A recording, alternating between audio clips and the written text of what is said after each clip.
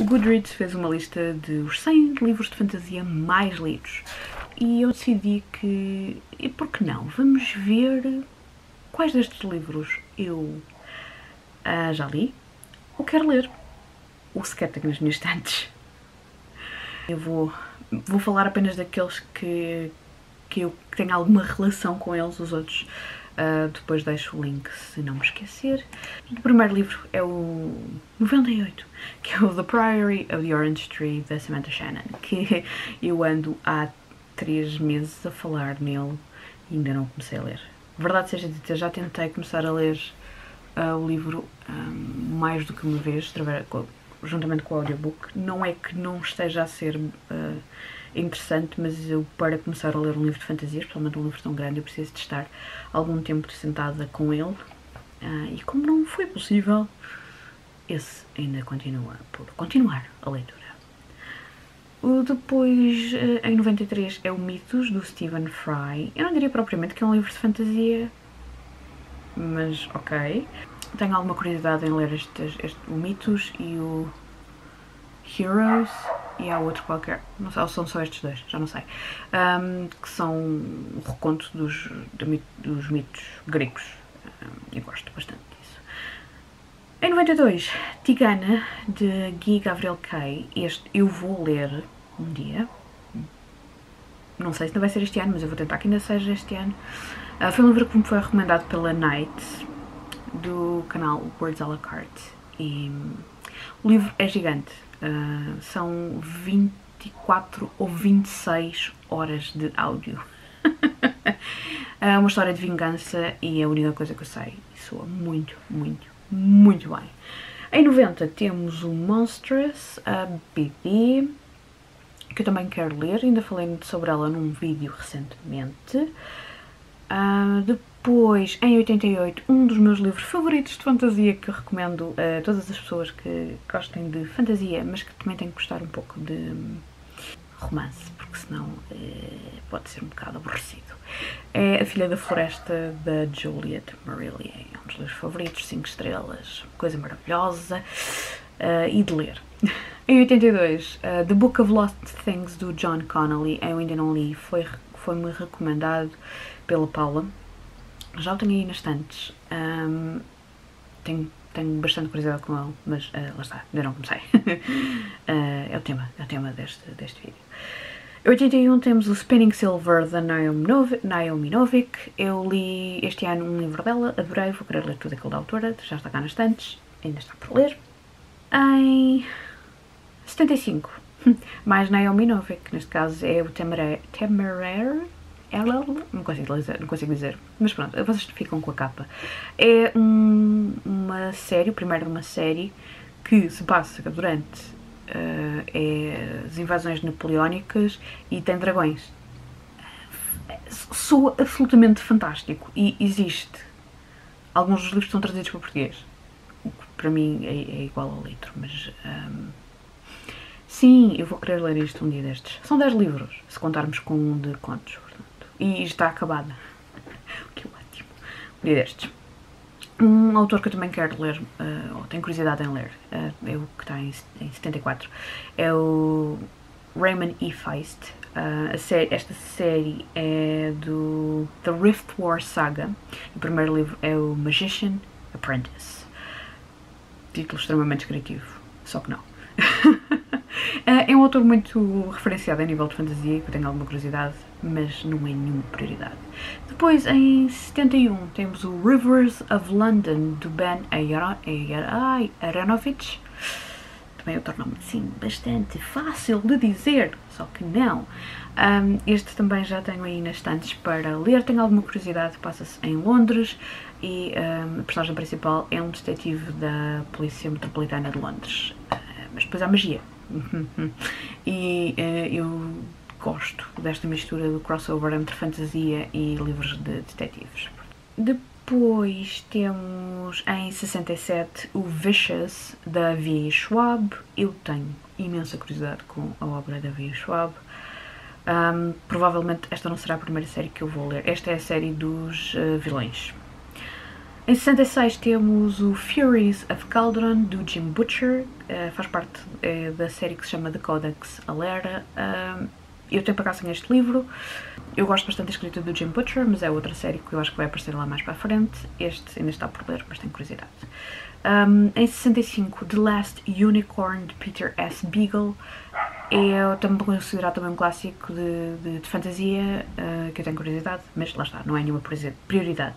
A mesma coisa com o 63, The Once and Future King, do T.H. White, uh, que é um livro com lendas arturianas. Óbvio que eu quero ler, não é? Um, existe uma tradução em português que eu descobri há pouco tempo, através da Night, e. Pronto, o, eu provavelmente vou ler em inglês porque é aquela. É, é o normal para mim, não é? Mas. Uh, é um livro que eu já adicionei para aí umas 5 mil vezes no Awesome Books ao, ao, ao carrinho das compras e ainda não comprei. Shame on me por ainda não ter lido o número 60, é o Nimona do, da Noel Stevenson. Eu adoro uh, o trabalho da, Noel, da Noel. Uh, Sigo-a há anos, anos, anos, anos, uh, mas ainda não li muita coisa escrita por ela. Portanto, sigo-a como ilustradora. um, enfim. Em 57, The Witching Hour da Anne Rice, o primeiro livro das Mayfair Witches. Lives of the Mayfair Witches. Uh, lido, adorado, adoro. É um dos livros que mais gostei de ler da Anne Rice. Mas eu só li três livros da autora, portanto.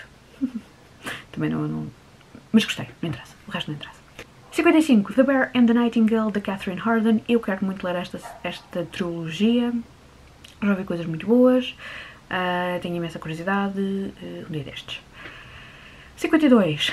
Warbreaker, do Brandon Sanderson. Yes, I want to read almost everything by this author. Uh, e por isso mesmo uh, vejam os book hauls do futuro, porque ele vai aparecer por aí. Dragonfly, da Anne McCaffrey, é o 49. Uh, Anne McCaffrey é uma das autoras de fantasia hum, é clássico, uh, indispensável e eu ainda não li. Uh, se gostam de dragões e fantasia, então têm que ler Anne McCaffrey. Uh, esta série é o Dragon Riders of Pern. Existem alguns livros traduzidos para português. Eu sei que a Knights também tem alguns desses livros. Um, a série é muito, muito, muito, muito grande. Eu ainda não comecei, não comecei a ler Anne McCaffrey também, um dia destes. Em 44, as Fairy Tales dos Irmãos Grimm. Um, eu não iria considerar assim para fantasia, mas tudo bem. Uh, óbvio que gosto. Em 43 temos Uprooted da Naomi Novik, que li este ano e adorei. Uh, 42 The Blade Itself do Joe Abercrombie. A série chama-se The First Law Trilogy. Um, Joe Abercrombie, eu tenho curiosidade em ler uh, Joe Abercrombie, mas não tenho pressa nenhuma em fazê-lo, não é uma prioridade. Em 41, The Never Ending Story, do Michael End. Uh, eu li este livro uh, uh, 15 anos atrás? Não, 16? 17? 18? 18 anos atrás, maybe? Adorei. Uh, já mereci uma releitura um dia destes. Em 40 temos The Last Wish, do Andrzej Sapkowski, não sei se é assim que se diz, uh, da série The Witcher. Um, eu tenho um problema que eu não sei se quero ler estes livros. Eles foram recomendados pela Sofia do Daily Masses e eu gostei da série. Nunca vou jogar o jogo porque não é, não é, não tenho coordenação motora suficiente para conseguir jogar esse tipo de jogos. Jogos. Os livros, não sei, eu não sei. Ainda são alguns livros. Que também é outro problema. Diz a pessoa que ou queixa-se a pessoa que, leu, que está a ler uma série de 41 livros, mas está-se a queixar desde que são menos 10. A lógica não tem lógica nenhuma. 39. Elantris, do Brandon Sanderson, of course, vai ser lido nos próximos anos, o mais brevemente possível. 38. Uh, Mooncall, da Patricia Briggs, a série Mercy Thompson. Eu adoro esta série. Infelizmente foi daquelas séries que deixaram de ser traduzidas para português. Eu tinha os livros em português, depois desfiz-me deles para começar a comprar a, a, em inglês, mas ainda não comecei. Um, Mercedes, Mercedes Thompson é uma. Isto é fantasia paranormal.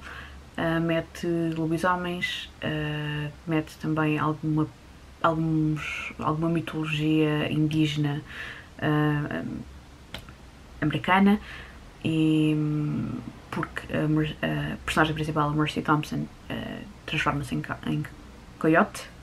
portanto, é a mesma coisa como se fosse um lobisomem, mas em coiote. E é, é, é, muito, é muito fixe. Estes livros são muito fáceis de ler também tenho que, eu tenho que reiniciar a série em, em inglês, um, porque lá está como li em português, tenho que fazer agora essa transição para inglês, um dia destes.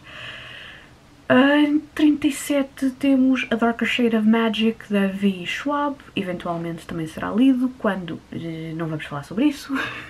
36 The Song of Achilles da Madeline Miller, também está nos planos de ser lido um dia. Uh, 35 Jonathan Strange and Mr. Norrell da Susanna Clarke. Uh, também faz parte dos planos, mas também não é uma prioridade, uh, apesar de também ter sido daqueles livros que eu já adicionei para aí umas 3 mil vezes ao carrinho de compras. The Mists of Avalon, da Marion Timmer Bradley, é o 34 e favorito. Hum, mas eventualmente também é um livro que eu quero ter em inglês, já que uma parte da série que eu tenho os livros em inglês. mas pronto, primeiro, primeiro deverei reler a série em português nas edições que tenho dos quais detesto a capa e adoro contra capa. Fixe, não é? Também acho que sim. Um, 32 Norse Mythology do Neil Gaiman. Quero ler? Não é uma prioridade. 30. Sandman no Neil Gaiman. Está lido. É fantástico. Uh, 28 da Silmarillion, do Tolkien, também está lido, adorei. Não acho que todas as pessoas vão gostar, mas uh, ao menos estes contos estão uh, mais ou menos uh, terminados. É a versão mais acabada dos contos. Assassin's Apprentice da Robin Hobb é o 26 e sim, já está lido. Eu gosto imenso, gostei imenso da escrita da, da Robin Hobb. Estou há dois anos para continuar a ler esta série, mas eu acho que estou intimidada pelo tamanho do livro seguinte, porque os livros da, da Robin Hobb são todos coisas para hum, 600, 700, 800 páginas. É um investimento de tempo assim um bocadinho grandinho, mas eu acho que vale a pena. 24 A Wizard of Earthsea, da Ursula K. Le Guin. Favorito, favorito, favorito, favorito. Se querem ler livros de fantasia que não sejam muito extensos e que não tenham 10 mil livros numa série, experimentem um, a série da Earthsea, um, é fantástica. 23 Circe, da Madeline Miller. Sim, é uma série que. É uma série. É um livro que eu quero ler. Este não é uma série, é, um, é sozinho. Uh, estava a ser influenciada pelo livro seguinte, que é o 22 é o Jim Butcher, uh, The Dresden Files, o primeiro livro do Stormfront. Eu adoro esta série. Uh, descobri recentemente que vão ser 22 livros. Estamos, uh, este ano vai ser publicado o 16 e 17, eu estou super entusiasmada e, e, pronto. Sim, é uma série muito grande. Eu queixo-me de, de, séries que têm 10 livros e depois leio séries intermináveis. Uh, por falar em séries intermináveis, o 21 é o The Way of Kings do Sanderson, portanto faz parte do Casimir. Uh, também vai ser lido brevemente uh, e sabe-se lá quantos livros é que o Casimir vai ter: uh, 20, 30, 40, 50. tudo aquilo que o Sanderson quiser, porque o céu é o limite com este, com este senhor e ele escreve para caramba. 20 The Color of Magic do Terry Pratchett, o primeiro livro da série The Squirrel. Uhum, fantástico.